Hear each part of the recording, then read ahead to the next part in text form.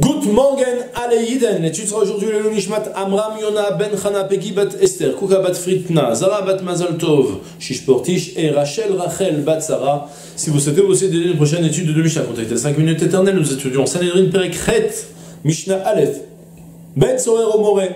Mais Matai Naasa Ben Sorer Omore, Mishavish Tesarot, Vead Sheakif Zakan. התחתון ולא עליון, אלא שדיברו חכמים בלשון נקייה. שנאמר כי יהיה לאיש בן, בן ולא בת, בן ולא איש. הקטן פטור, שלא בא לכלל מצוות. Pour rappel, dans la fameuse Mishnah du Père Zain, Mishnah Dalet, on énuméré là-bas 17 cas de condamnation, les 17 condamnations à la lapidation de la Torah. Et les Mishnayot qu'on suivi ont repris chacun des cas et on mis le zoom, expliqué dans les détails de quelle manière on sera condamnable à l'appellation, de quelle manière la Torah a dispensé, a exempté. Et le dernier des cas, c'était le Ben Sorer le fils rebelle. Étant donné que ces halachot-là sont plus, pas complexes, mais en tout cas, il y a plus de détails, donc là, le rabbi a préféré en faire un pérec spécial et on va apprendre maintenant les, je crois, 5 Mishnayot, 5 ou 6 Mishnayot, qui vont faire, ouais, 6 prochaines, 5 prochaines Mishnayot, où l'on ne va que parler du Ben Sorer au les conditions du fils rebelle pour être condamnable à mort. Petite introduction d'abord, on va, comme on va le voir tout de suite, ça va être rapporté longuement dans les Mishnayot, mais le, principe d'abord du Ben Sorer au c'est une halakha très très très particulière dans la Torah. C'est la seule fois où ça existe. C'est qu'on va tuer quelqu'un alors qu'il n'a rien fait. Ça veut dire quoi qu'il n'a rien fait? Il se conduit pas bien, et la Torah, elle a dit, ça va être explicite dans, une des prochaines Mishnah, qui va nous le dire Un enfant qui se conduit très mal, complètement immoral, où le seul développement, la Torah, elle l'a déjà prévu, vu, loin, que la seule courbe qui va avoir cet enfant, c'est de partir en sucette, en cacahuète, comme vous préférez, il va faire que de s'aggraver et empirer sa situation jusqu'à devenir un véritable brigand qui va se mettre à tuer pour pouvoir avoir de l'argent. C'est quelqu'un qui cherche à, qui vole l'argent, de l'argent pour partir s'acheter, qui alors qu'il est tout jeune, il vole de l'argent pour partir s'acheter du vin et de la bonne viande, à la manger comme un barbare, et de ce fait, la suite logique de cet enfant va être que plus il va évoluer, plus ça va s'aggraver, jusqu'à qu'à la fin il va devenir un vrai meurtrier. La Torah a dit, fais quelque chose de bien. Tant qu'il est encore petit, il est encore jeune, adolescent, dépêche-toi vite. Et elle a dit aux parents, allez vite, amenez-le au Betdin et que le Betdin le condamne à mort. Mutav sheyamut zakai valiamut chayav. Vaut mieux qu'il meure tant qu'il est encore zakai, c'est encore quelqu'un qui n'est pas encore un fauteur, plutôt que d'attendre qu'il va devenir un grand fauteur. C'est très original, c'est nulle part ailleurs dans toute la Torah. Dans la Torah, c'est pas comme ça en général. Il y a la fameuse histoire avec euh, Rabbi Ishmael, euh, avec euh, Ishmael, le fils d'Abraham Avinu, que le malach est venu et l'a sauvé. Et Bacher ou Sham, juge-le selon ses actions aujourd'hui, on ne juge pas quelqu'un selon ses actions plus tard. Là-bas, il y avait tout un, un entre les anges dans le ciel. Est-ce qu'il fallait sauver Ishmael qui est en train de mourir de soif ou non? Et l'ange est venu, elle a sauvé Ishmael. Pour quelle raison Aré Ishmael, finalement, il va finir par tuer des tas de Béné Israël à l'époque de la destruction du, du Beth Amikdash. On va pas trop arranger sur trop d'histoires, on va pas trop. D'accord? En tout cas, ils ont fait les Béné Ishmael, les, nos cousins. Eh ben, c'est des mauvais cousins, ils nous ont fait des mauvais coups. À l'époque du Beth de la destruction du Beth ils ont fait qu'il y a eu des milliers de personnes qui sont morts, asphyxiées, euh, en buvant des. alors qu'ils étaient assoiffés, ils ont bu des, des gourdes vides, et ils sont tous morts comme ça. Et à cette époque-là, les anges, donc, quand, Avram a renvoyé Ishmaël, il est en train de mourir de soif, et les anges dans le ciel ont dit Hachem, mais on va le laisser mourir de soif, puisqu'il risque de tuer tes enfants. Ah justement par l'eau. Et sur ça, la Torah nous enseigne une grande règle. Il faut, le juger Ba'acher ou Sham, où il en est aujourd'hui. Et si aujourd'hui il n'est pas fautif, alors il faut l'aider. On verra demain qu'est-ce qui sera. Et là, c'est l'exception à la règle, c'est l'histoire du Ben Sorin le fils rebelle que la Torah nous a enseigné de le tuer alors qu'il n'est pas encore un grand fauteur. D'accord? Il a certes des conduites pas du tout bonnes, et euh, la Torah, la Torah, elle a vu profondément qu'il n'y a plus rien à espérer de quelqu'un de pareil, et en l'occurrence, faut le tuer. D'accord? On va prendre dans la prochaine Mishnayot. Les conditions requises pour condamner à mort le Ben Sorer au Moré. Ben Sorer ou Moré, le fils qui est Sorer ou Moré, rebelle, je ne sais pas exactement la finesse des mots, pas approfondi, à l'occasion peut-être je verrai. Mais Ben à partir de quel âge devient-il un enfant rebelle? Alors, je le dis tout de suite, avec une tranche d'âge très petite, c'est à partir du moment où il passe les 13 ans et un jour, il commence à devenir donc adulte, jusqu'à une maturité relativement courte. Maintenant, introduction d'abord à, à la Mishnah, c'est que de manière générale, un adulte, on considère toujours selon des, les poils dans les parties génitales. D'accord? Et là-bas, on va donner deux mesures dans notre Mishnah. Il va y avoir où il y a le début des premiers poils qui vont sortir, jusqu'à la fin où il y aura une quantité assez conséquente de poils, où cette fois-ci on considère qu'il n'est plus un enfant qui est en train de devenir un grand, mais il est concrètement considéré comme un ish, un vrai homme dans la Torah. C'est ce que la Mishnah maintenant va nous dire. Seulement le problème, c'est que la, Mishnah va nous présenter la halakha en rentrant dans un sujet, dans un sujet. Bon, on va, on va traduire maintenant. Miché Yavi, donc à partir de quand peut-il devenir Ben Sorer ou Moré? Est-ce qu'un enfant de 10 ans, de 11 ans, qui s'amuse à voler de l'argent de ses parents pour lui, aller partir s'acheter de la viande et du vin, est-ce qu'on va le condamner à mort? Sur ça, la Torah, elle nous dit non.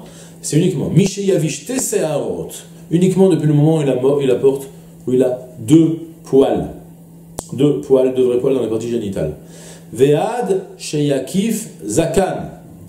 Et jusqu'à, littéralement, jusqu'à ce que sa barbe fasse le tour.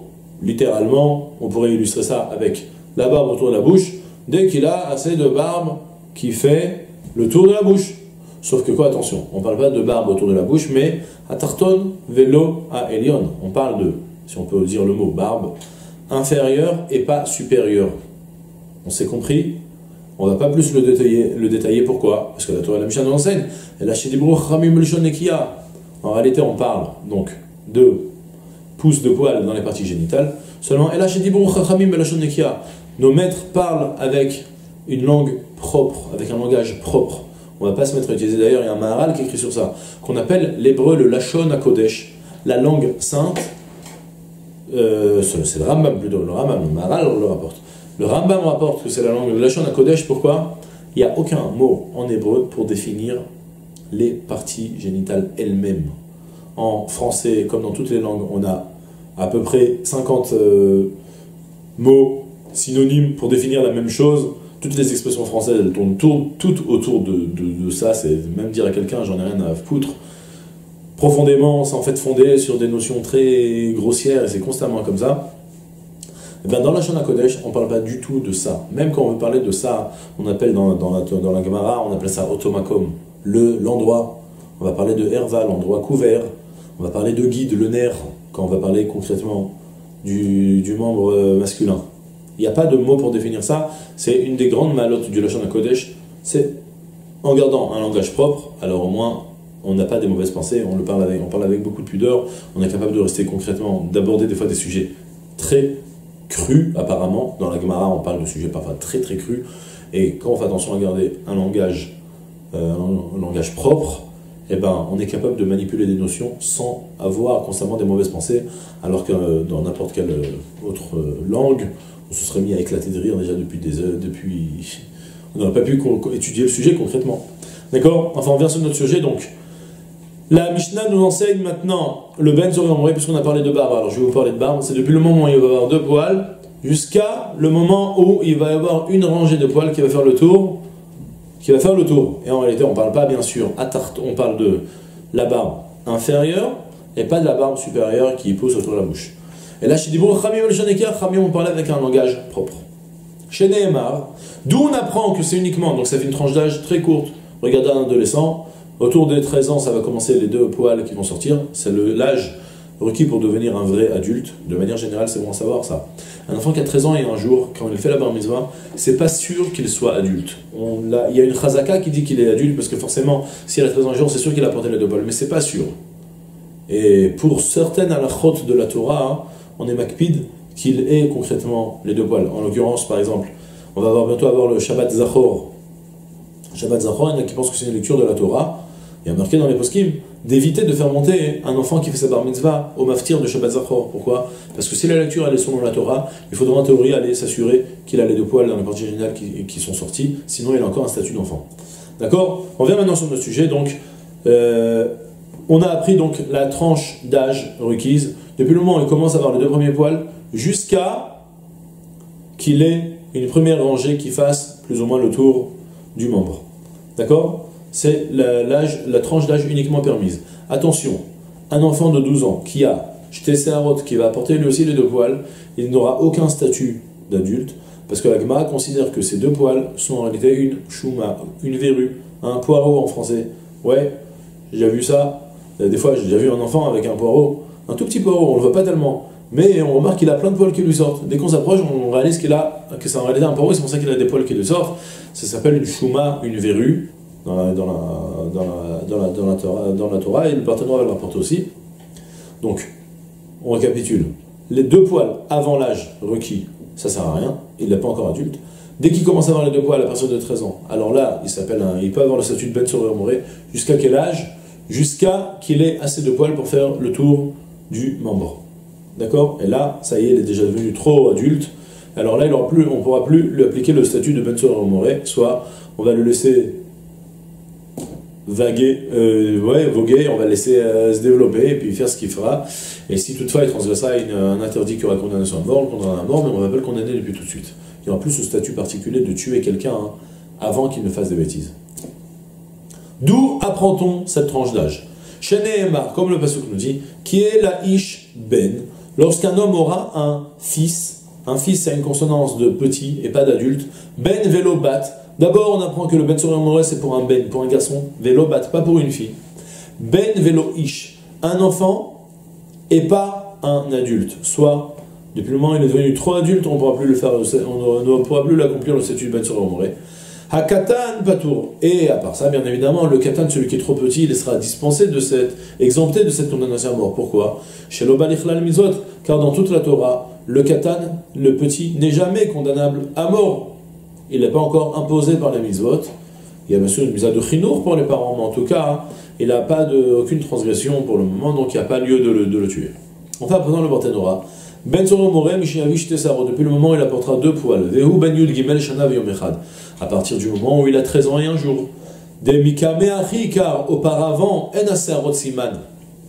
Les poils qui lui sortiront avant l'âge de 13 ans ne sont pas considérés comme un signe qu'il a grandi, et la chouma, mais plutôt comme une verrue, le fameux poireau qu'on a évoqué. Achiakif zakan atarton, jusqu'à qu'il ait une rangée de poils qui fasse le tour du zakan atarton. Achiakif, qui fasse le tour, le zakan tarton. La barbe inférieure, c'est-à-dire maï zakan d'amour rabanan. Ouais, c'est une virgule alors, le partenaire explique. Maï zakan d'amour rabanan, de quelle barbe parle-t-on euh, Les pas les m'ont-ils parlé? Atarton amour on parle de l'inférieur, la barbe inférieure.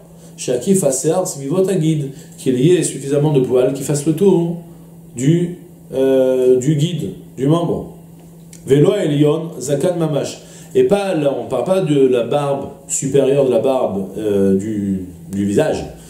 D'accord? Chez ben velo ish, comme le passage nous dit, ben, quand quelqu'un aura un ben velo ish, mishaikif zakan tarton ishu. Car, depuis le moment où il aura suffisamment de poils pour faire le tour du guide, alors il y aura un statut d'adulte. Ce sera un ish, un homme, et ce sera plus un ben. ben. Maintenant, on va passer à l'autre limite inférieure. Pourquoi tu me dis que depuis le moment où il est devenu, il a atteint les 13 ans? Peut-être même plus tôt. Et il s'appelle aussi un ben sorero more.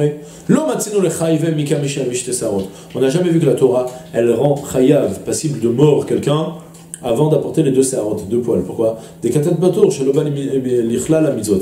Car le katan, l'enfant, est toujours dispensé de toutes les mitzvot, selon la qui ne sera pas condamnable si elle pas fait. Et le C'est pour ça que forcément, la condamnation évoquée par la Torah parle d'un âge supérieur, depuis le moment où il est déjà devenu adulte, soit qu'il a eu les deux poils. Et ainsi a dit le verset, qui est la ben, lorsqu'un homme aura un fils, ben likvurato shel ish, un ben, un enfant qui est sur le point de devenir un adulte. Au début de sa ishut, depuis le moment où il commence à devenir un adulte, c'est sur ça que la Torah l'a condamné. Tandis qu'à partir du moment où il va faire le tour du guide, il aura assez de poils pour faire le tour du guide, et il a maintenant un corps d'adulte, il est considéré comme un adulte, et c'est plus, il sera plus condamnable à mort. C'est tout pour aujourd'hui, je vous souhaite une journée pleine de Hatzlacha, Kol Tov